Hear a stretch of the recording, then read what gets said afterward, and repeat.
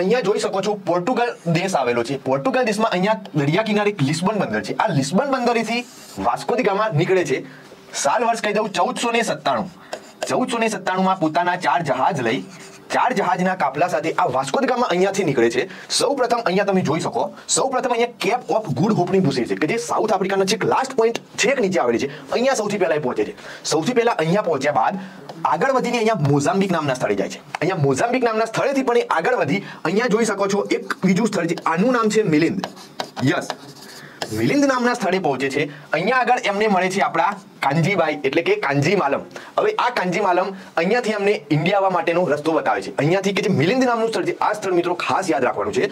મિલિંદ નામના સ્થળેથી કાંજી માલમ ઇન્ડિયા આવવાના રસ્તાની અમને વાત કરે છે કે અહીંયાથી તમે સીધા જાઓ અથવા તો અહીંયાથી આ રીતે પણ ઇન્ડિયા જઈ શકો છો.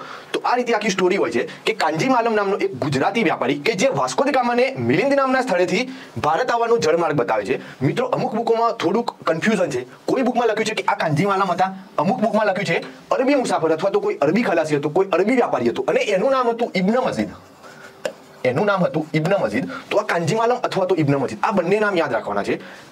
તો ચલો શરૂ કરીએ કે આ મિલિન નામના સ્થળેથી અહીંયા જાય છે. પોર્ટુગીઝ નાવિક વાસ્કો ગામા કાલિકટના અહીંયા જે રાજા સામુરીનું, રાજા સામુદ્રીનું શાસન ચાલતું હોય, કાલિકટ બંદર તો ખરું, પણ ત્યાં સ્પેશિયલ એક બંદર આવેલું હોય. એનું નામ છે કપ્પડુ. કપ્પડુ બંદર ખાતે સૌ પ્રથમવાર વાસ્કો દી ગામા ઉતરે છે કે ત્યાં આગળ રાજા જામોરીનું શાસન હોય છે. તો ચલો આ વસ્તુ ક્લિયર થઈ